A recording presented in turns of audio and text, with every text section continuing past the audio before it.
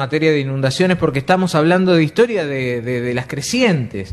Eh, y vamos a recibir a, a Santos Verón, que para mí es el referente porque ha vivido siempre en una zona a la que llega el agua y siempre se ha quedado en esa zona, ayudando a los vecinos, custodiando su barrio, cuidando sus cosas y a su vez entendiendo como un hombre montaraz que es este cómo funcionan justamente esos nervios del río ¿no? que, que- que van cambiando. Bienvenido, Poli Verón. Gracias Bueno, por estar acá. Yo te agradezco, este, Fabricio, la invitación. Saliente del lago, medio mugriento, pero acá estoy contigo. Porque A lo que venís del techo de tu casa, ¿no? ¿Cómo? Venís del techo de tu casa. Vengo del techo, me bajaron en botas ya porque ya con los, los huesitos míos ya andan medio, medio simple, ¿viste?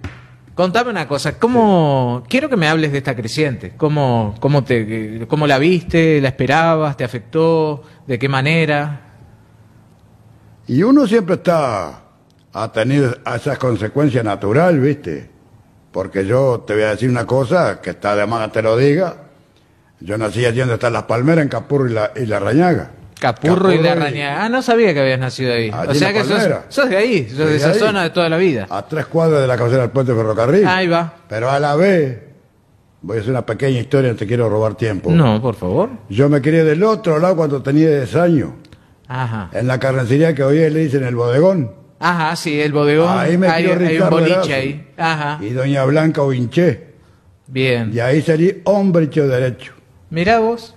Así que Caí de- de, de- un, de- un lado del río y del otro lado del, Del río, pero lado, cerquita sí. del río. Entonces en Perfecto. ocasiones yo observo, viste, escucho. Y no quiero te, te- no quiero cámara, viste. Ahora vine porque se trata de vos que te conozco. Sí, yo sé, yo a tu sé. madre, a tu padre, de sí, sí. ¿verdad? Y a don Pedro, tu abuelo. ¿Cómo no? ¿Me entendés? Y vine la invitación, viste, pues yo no ando comprando cámara, viste, no me hago a ver.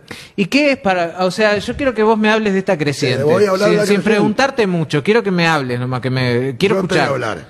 Dale. Vos sabés que esto pasó el, esta última. Sí. Y ustedes los comunicadores están para eso, para comunicar, ¿viste? Pero yo escucho a gente que opina, ¿viste? Que esto y que lo otro. Pero se armó un barullo allí en la esquina de casa, ¿viste? El jueves. A ver. Pero el jueves ya estaban dando 11 metros.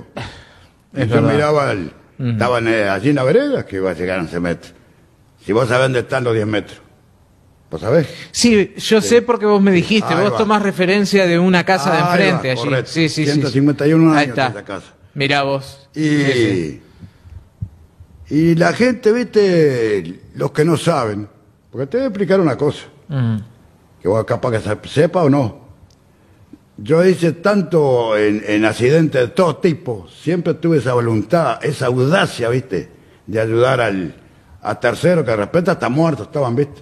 Yo nunca tuve miedo a nada, viste. El arrojo Ahora, ese de, ¿eh? el arrojo, digo, Yo que es esa cosa natural que me natural. Dios, ¿viste? Una- sí, sí, sí, Este, un impulso. Ese impulso, ¿viste? Ahí va. Entonces yo eh, veía la, el impulso de la gente, ¿viste? Opinando, asustando a la gente, ¿viste? Gente que ni opina. Y que te termino de decir lo que te iba a decir. Yo hice el curso de, después ya de, de hombre hecho derecho con mi nieto, con el Kitty. Hicimos el curso de emergencia. Ah, mira. Y el otro día hablaban, que lo entendí, lo escuché, a, a- a don Carmelo Villerín, que lo conozco de niño también, ¿viste? Y tengo un gran aprecio, y ha hecho mucho por Durano. Nosotros hicimos en el SECOE, ¿no? Sí, en ese hicimos el poder. curso de primera, que tenemos el diploma. Ah, yo te iba a preguntar dónde habías hecho el curso de emergencia. Entonces, Mirá, este, claro, en ese colegio. ¿me entendés? Sí, sí. Y yo escuchaba que no había gente, pero ¿y, y para qué le dan gente que yo no estoy mal? Que le den gente a... Pero tienen que darle eh, puesto en, en el chico E a gente que esté preparada, me parecería a mí, ¿no? No busco para mí ni para mi nieto, no, qué esperanza. No, no, no, ese tipo de cosas no. Porque yo te, cuando hay una cosa de esa naturaleza...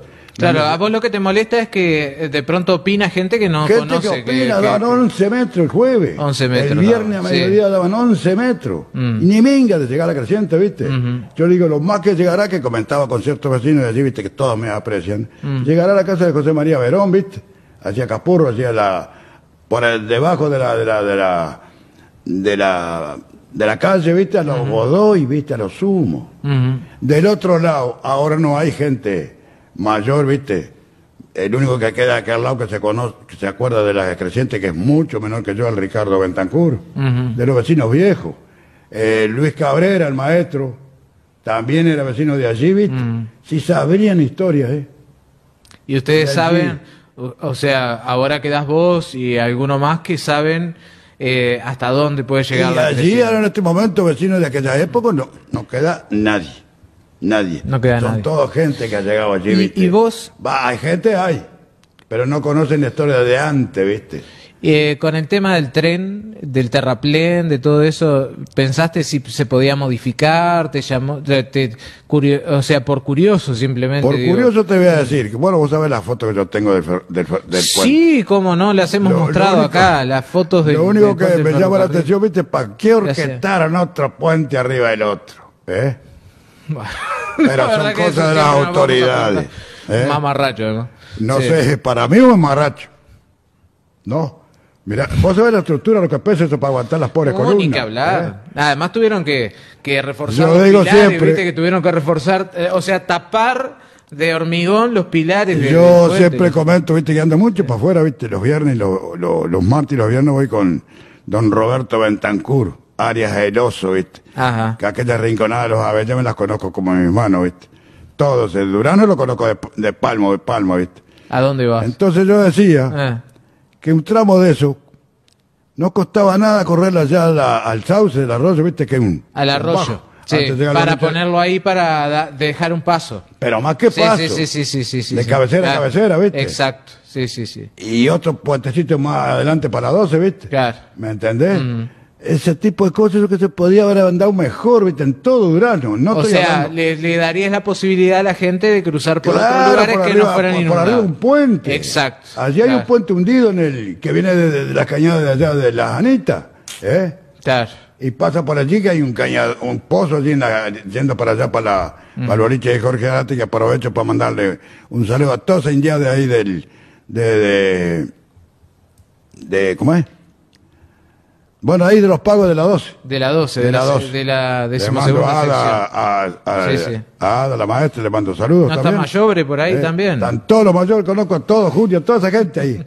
De la, de- Si te empiezo a nombrar gente, no terminamos No, más. no, no va- vamos a hablar un poco de la creciente. Bueno. ¿Y cómo fue el tema de...? Está, ya sabemos entonces que ustedes estimaban que a, a 11 metros no llegaba. ¿Qué iba a llegar? Está. Eh, ¿Pensabas que iba a llegar a estos 10.60, poner una cosa Y así? eso es lo que te estoy dando, Ahí va. 10.53. Ahora va. Y te voy a dar el dato oficial ahora cuando baje del todo. Mirá. Te lo voy a pasar. Porque ¿eh? tenés la Yo regla. tengo ahí. la reglita, sí. Sí, sí, sí. Y no soy ingeniero ni ¿Y qué haces arquitecto. cuando ves que se viene? Vos veías que se venía el agua, por sí, eso supuesto, sí. mijo. está. ¿Y, ¿Y qué haces en ese caso? ¿Empezás a Nada, las cosas? me quedo quietito, nomás. Cuando apura la cosa, empiezo a tirar mi cascarria para arriba de este techo. Y armó una lona a mi nieto, Qué ¿viste? increíble, ¿no? La gallina y todo para arriba. Toda la vida. Toda la 80 vida. años haciendo lo mismo. De Pasando. Pasando ahí. Pasando ¿Y, 80. y ponen un bote. Contame cómo es la entrada y la salida, pues vos acá tuviste que venir, dijiste, vin- viniste... te Tenemos el bote, ¿viste? Tenemos bote. Tiene mi nieto, ¿viste? Que es de él. Bruta lancha. Somos pobres, pero bien Y vestidos. con, ¿viste? e- y con eso te... se- se No somos agrandaditos, ¿viste? Tenemos nuestras comodidades. ¿viste? ¿Nunca fuiste a un campamento de... a quedarte, digo, a un campamento del Secoedo o algo de No, eso? vos sabés que no. No. Con mi gente no. Con la finada mi mujer tampoco. ¿viste? Siempre en tu Mi- casa. Siempre en mi rancho, ¿viste? ¿Y que Era arma- un rancho de- armás campamento en tu techo? No, no, yo armo campamento, me techo y allí no me saca nadie. ¿Y, y cómo es el tema de los robos? Y todo eso Y de en noche. lados. Y bueno, En pero- lados es bueno, pero la- nada, nada. Eh. Vos sabés que yo soy millonario de mitad. Con toda esa gente mala como yo, porque yo soy santo del más que de nombre. Santo Verón. santo, ¿verdad? Santo. El único que tengo es el nombre, ¿viste? Yo no soy santo. Está bien. No, yo me doy con todo el mundo. te llevas Como- bien. Nunca como- te faltó nada. Nunca, no, Bien. no, no. ¿Y cuidás la casa de los vecinos también? Por supuesto. Algunos me agradecen, otros no, pero vos sabés que me sobran los dedos de la mano para los que no me quieren. Que algunos No, se la han- mayoría te quieren, Que sí, algunos se han quedado en casa, ¿viste? Está todo. La sin comentario. Nadie es monedita de oro para que lo quiera todo el mundo, dice Atahualpa Yo no soy Jesús de Nazareno porque todo el mundo me Eh, quiere. está, exactamente. Así Pero que soy bueno, católico. está bien. Y, y decime, con ya con esta edad, que vos decías ya los huesos no responden igual y todo lo demás. Por supuesto. ¿Cómo, cómo, ¿Cómo es para vos vivir esto? ¿Lo vivís como algo natural? natural, lo más. Natural, como Natural, parte de tu vida. ¿Qué pasaría, Santos, si te dieran una vivienda del otro lado del, del pueblo? ¿Vos sabés que no voy? No vas. Porque te voy a hacer un cuento pequeño. Mm. Yo gané un premio en la, en la vivienda que están allí en la curva, de frente a la CA. Sí, Hace hace añares, porque Bueno. esa está... la sacamos Sí, con sí. mi señora, ¿viste? Mm, donde vivía Tony Cabrera y todo. Sí, sí. Ahí va. Mm. Pero nosotros queríamos, porque tenemos, teníamos bichos, ¿viste? Teníamos chancho, ovejas, todo eso. Trabajando, eso no era robado. y vacas de ordeñar, que mi mujer ordeñaba como seis o siete vacas en las casas, ¿viste? Mm. Sacamos un premio en la, en la vivienda esa. Pero yo quería en la presa Artiga, ¿viste? Ajá. Por más cerca. Ah, y ahí va. Para Cuando- poder tener los años. Cuando fuimos se quedó en la llave a un compañero de allá a la base, ¿viste? Que no lo vi nunca más. En No me tercer- diga. Son dos pisos, tres son allí. Tres me parece que son. Tres. Sí. Allá arriba, mira con gallina y oveja y todo. Y digo, no, no quiero nada, ¿qué, ¿para qué quiero? En un apartamento. ¿quién compramos con la final lo que era de mis abuelos, Mira. de lo que era de mis abuelos allí donde vivo, Sí. que era un campo, porque ahora está todo poblado. Ahora está todo poblado. Este- Exacto. Sí, sí. Compré en el año 58, cinco mil pesos me salió. Mira.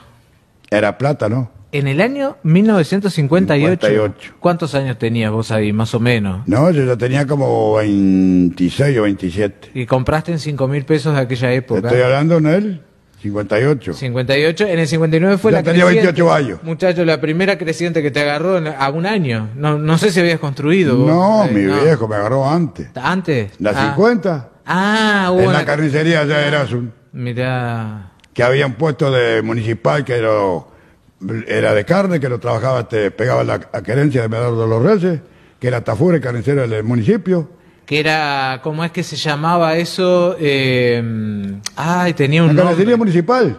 Sí, pero no tenía un nombre la carnicería municipal. No, no, no, no, no. No, Que le decían a- abastecimiento, ¿no? Como era, este, bueno, no me acuerdo. Está, no importa. no, no, no, no, eso Era carnicería era municipal. carnicería del Ta. municipio. Del municipio, sí, sí, sí, sí, Eran sí, sí. compañeros del Tito Troich, Ahí va. porque Tito Troich era cortador del mercado de acá del centro. Ahí va. ¿Sabías eso vos? No, no, no, Sí. no, no, pero sí sé que había una carnicería municipal Claro, y todo, sí. En todo eso Durano. Sí, sí, sí. Y sí, al lado sí. del tambor también. Ahí está. Mi padre era carnicero municipal de allí, ¿viste? Claro. Carnicero, era para cortar carne para los vecinos, ¿viste? Ahí va. ¿Me entendés? sí.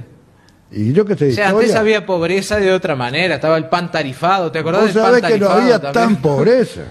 Claro, se comía bien. Porque ahora Había- donde está la segunda y la cancha del Deportivo allí, allí había lo- los corrales de Felipe Fajardo. Ajá. De la estación eran los, los, los corrales, ¿viste? Ajá, de Pero la ahí estación de. Felipe Fajardo, Mm. el suegro Miguel Barrero, que le mando saludos a toda esa gente de ahí.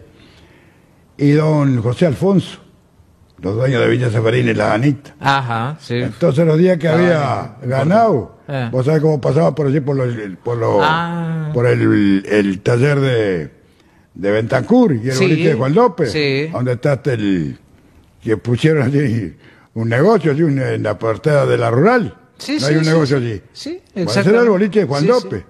Y eh, había estaba la tintorería arriba en el segundo piso y la tienda. Claro. Bueno, en la esquina, sí. de- En la esquina, sí, y a la- a- yendo a pasar en la curvita principal estaba Medardo los Reyes con la carencia.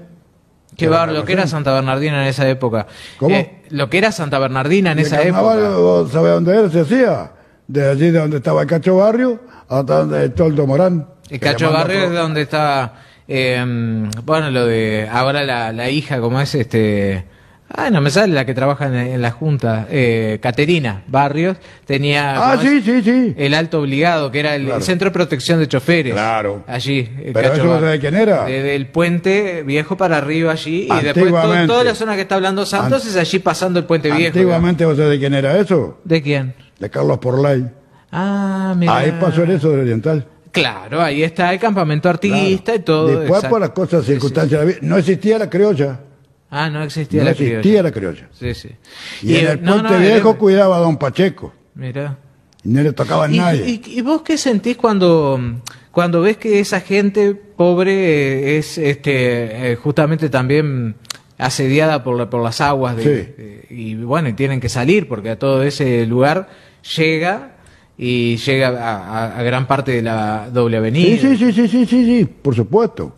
Que que vos me decís cómo? No, o sea, a vos te duele eso porque vos lo naturalizás en Pero vos. por supuesto, Pero te- muchacho. sí. Porque hay Mm. gente más baja que yo de- en el sentido de de, Sí, la inundación de la